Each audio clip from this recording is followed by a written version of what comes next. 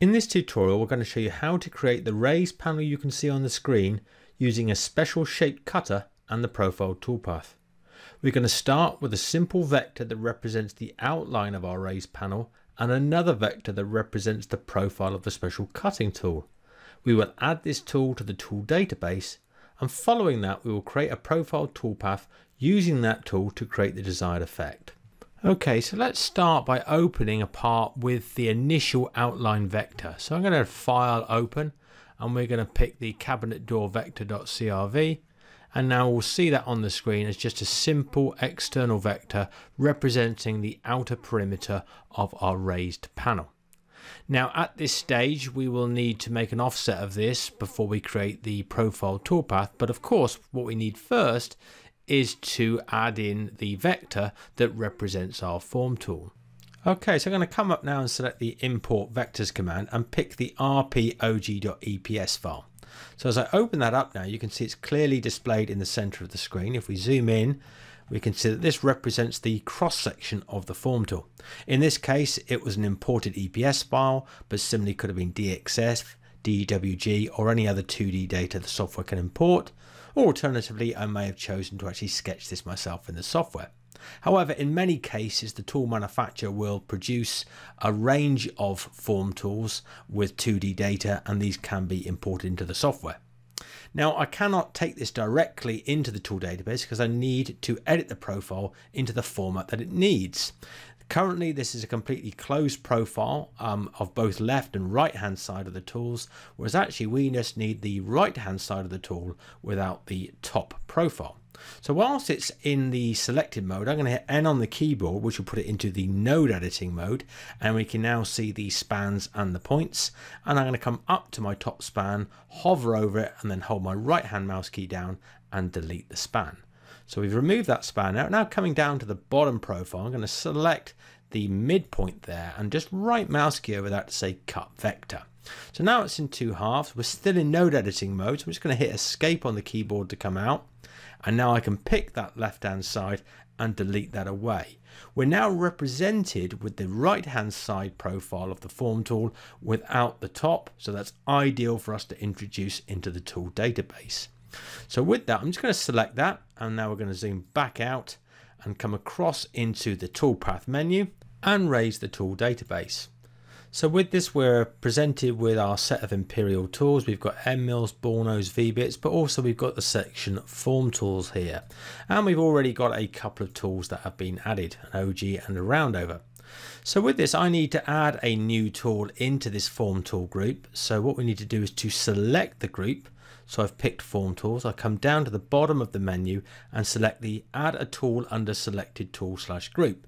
So with that, um, it will give me a default tool. In this case, it's a ball nose, but from the drop down menu now, I'm going to select form tool. Now immediately it's picked out the selected vector that I've got on the screen and shown me the full profile and shown me the diameter. So I'm happy with that, but uh, I do need to make a change to the name. So with this, I'm just going to go to edit the tool's name. And by default, it's given a format of the tool type, i.e. form tool, the diameter, i.e. 3 and 3 eighths, and also the unit, inch. But in this case, I want to make a change. So I'm going to switch off this set as default because this is going to be a one-off change. And I'm just going to type in here RPOG and just OK that now. And you can see that that's immediately kept the uh, the size and the unit, but has added RPOG in front of it. Now with this, I'm going to now say, well, I need to create settings. You can see here that the tool is grayed out because we've not added the, uh, the cutting parameters.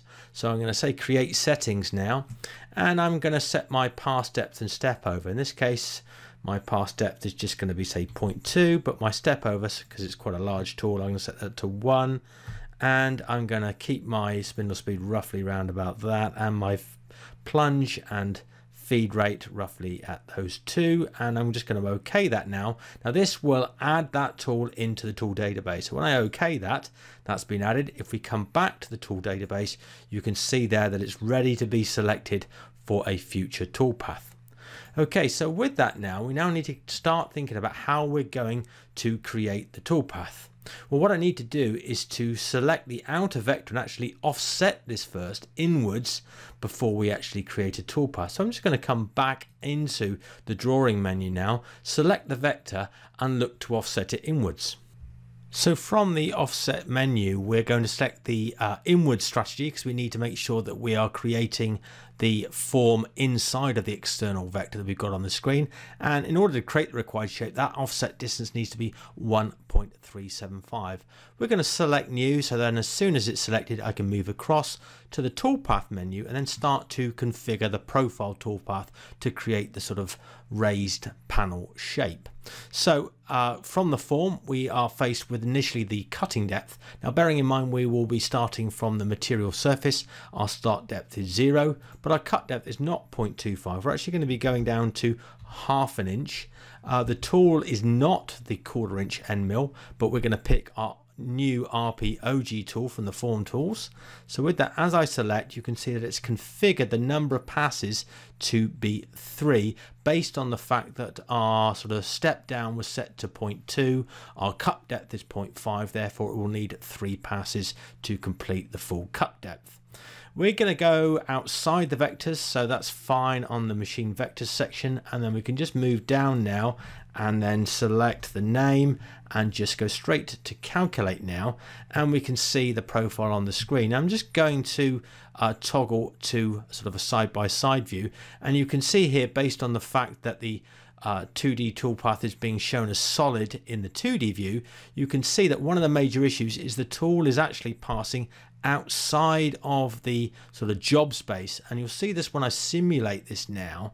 So I'm going to say preview the toolpath and you can see the tool is actually coming outside of the job. Okay, so we can see that there, the toolpath, but it is coming. So you need to be aware of how you're clamping it or in this case, it uh, may well actually be vac formed down onto the machine bed. Okay, so that's one issue, which is looking at how the uh, tool is moving around the workpiece, but also the fact that if we have a look at the corners here, this is not the required shape. I was looking for a nice sharp edge there. So what can I do to change the toolpath? So I'm just going to double click on that now and come down to sort of three quarters of the way down the menu where it says ramp leads order. And there is a section called corners. And you can see there, sharp external corners is currently switched off. So if I calculate that now, you'll see that that toolpath has changed. We've lost that rounded edge. So I'm just going to reset the preview now and then preview that again. And you'll see now that we're getting a nice crisp sharp edge in our corners and that's much more to our liking. The next toolpath we need to create is our cutout pass using the external vector. So with this selected now, I'm going to come across and just close out of the preview toolpath form and come up to the profile strategy again. So we need to initially start by addressing our start depths. Now, given the fact we've already cleared a lot of the material at the edge where we're going to be cutting, our start depth doesn't need to be zero. We can start at a depth of 0.5 and just go down by a further 0.25 so all the way down i.e 0.75 and come down and select our tool. We don't want to be using our form tool but just simply our sort of quarter inch end mill will be fine and I'm just going to select that now and immediately is is based that on doing two passes given the parameters that we originally specified so what I'm going to do now is just in order to force this just to do one pass I'm going to temporarily edit this so I'm going to come back now and change our pass depth to 0.25. Okay. And you can see that's jumped down to just one pass there. Now we're going to be machining outside this vector. Okay, so that's correct under which direction we're going. And then I'm going to come down and under corners, I don't need to have sharp external corners switched on. And we're going to change our name to cutout and just calculate. So we can clearly see that profile there. You can see how the tool's going around the outside of the external vector. And now on the right hand side in the 3D view, I'm going to preview that toolpath. We can see that's cut all the way through. So um, in, in this case, I'm assuming we are using a vacuum bed or this is stuck down. Um, but similarly, I could have used tabs uh, as, as an alternative, uh, which would have obviously made sure the piece doesn't break away. Now in this case the outside is now available to be removed so I can just double click on that now which will then show just the panel on the screen. And now we can go to full 3D view and we can see the beautiful raised panel that we've created. And this was done by using the very simple external vector that we offset inwards and also importing the cross-sectional vector of the form tool making some small uh, vector edits and then adding that into our tool database as a new tool to then be used with the profile toolpath to create the profile on the inside of the raised panel.